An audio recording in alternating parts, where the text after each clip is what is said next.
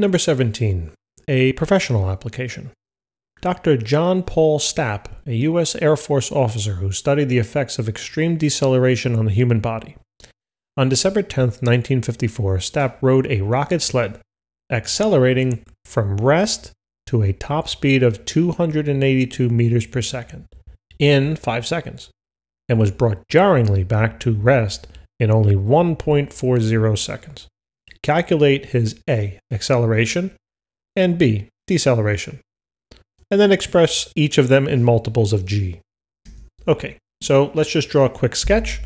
So um, let's say here's the start of the problem, all right, with the little dot, and this guy is going to accelerate from rest to, it says, a top speed of 282 meters per second. So the velocity here at the start, right, or his initial velocity should have been zero meters per second because he's starting off. And then the velocity here at the end should have been the final velocity for this part in black, which would have been 282 meters per second.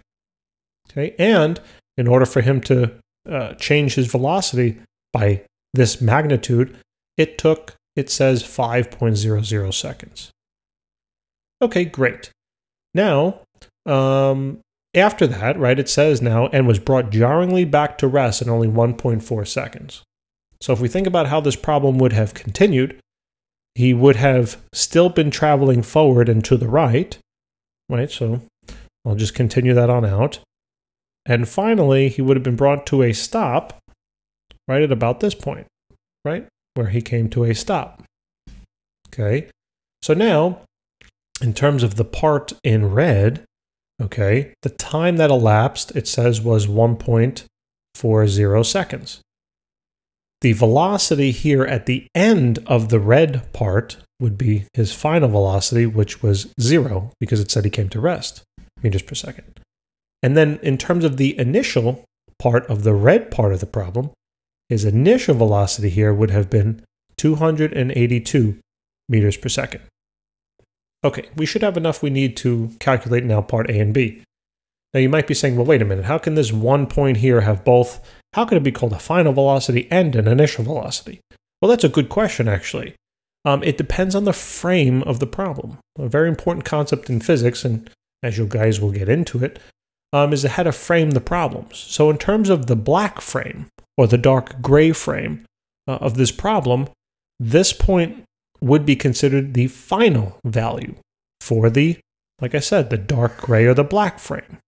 But if I'm looking at the red frame, then that's the start of my red frame, and this location over here would be the end or the final point of the red frame. Okay, so just keep that in mind as we go throughout the class. Framing is very important. All right, so now uh, let's calculate part A. So it says calculate his acceleration, right? So remember, acceleration is equal to change in velocity over change in time. Okay, so acceleration will be the final velocity value minus the initial velocity value divided by the final time value uh, minus the initial time.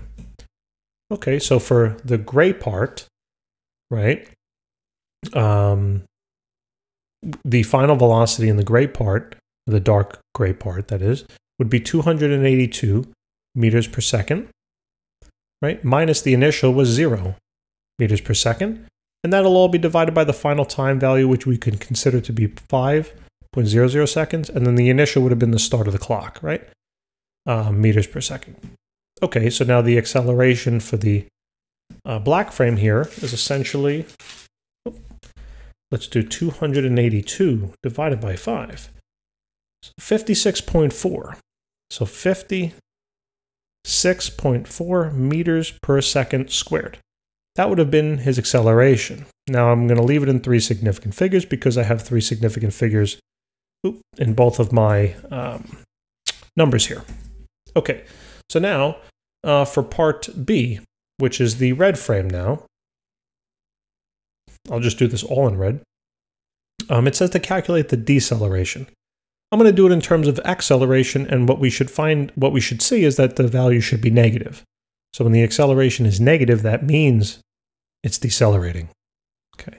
So acceleration average acceleration, you can just leave the bar out, it doesn't matter, is equal to the change in velocity divided by change in time, same thing. So the acceleration is equal to the final velocity minus the initial velocity divided by the final time minus the initial time. Okay, so now in the red frame, what's the final velocity? The final velocity was zero. So zero meters per second minus now, what was the initial value for the red frame? Well, the initial value for the red frame was 282 meters per second. Now that'll be divided by the final time, and then by the and then subtracted uh, by the initial time. So this part you can get a little creative. It doesn't really matter. You can say, well, the total time that would have elapsed should have been the five seconds plus the 140, right? So the final time would have been here um, 6.40 seconds.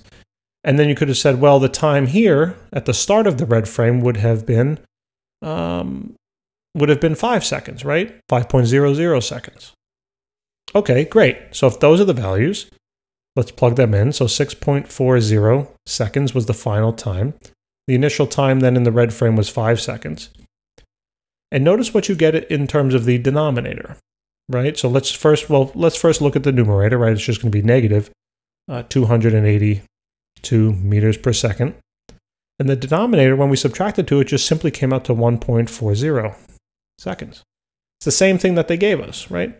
So if, if you calculated the um, change in time as we just did, it's totally fine. Or you could have assumed it started at zero here and the end time was 1.40. That would have been fine too, because that would have came out as well. Doesn't matter. All right, so now when we do the math here, so let's plug that into the calculator. Negative 282 divided by 1.4. So we it comes out to a value, so crazy acceleration, a deceleration that is. So it's negative 201, okay, because I need two uh, three significant figures, uh, meters per second squared. So that would be the acceleration. It's negative, therefore it is a deceleration. Now it says to, so for part, uh, well, it's not really part C, but I'll call it part C. Um, so then for part C here, it says to express each in multiples of g. So I'm just going to give you a quick formula for g. So basically, g will equal the acceleration value divided by 9.80. Okay? So in terms of, so g for the uh, g for the black part, right, would have been the acceleration value of 56.4 divided by, and these, by the way, all have to be in uh, meters per second. That's the assumption here. This value here needs to be in meters per second squared. Think I just said meters per second. It has to be meters per second squared because those are acceleration values. Okay, so as long as they are, uh, you can plug them in. If not, you got to do a conversion. Then divided by 9.80. So the G, so G for the black frame would be 56.4 divided by 9.80.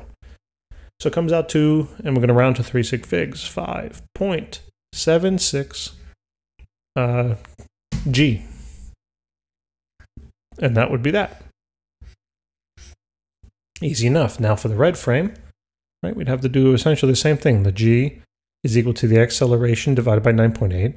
In this case, it's negative 201 right? So divide that value by 9.80. So again, g here will be equal to negative 201 divided by 9.8. And that works out to be negative 20.5. And that's three significant figures. And we can put the g at the end if we want All right, guys, thank you for tuning in. Hopefully this helped. And uh, remember, if it did, please subscribe. Thank you. I will see you next time.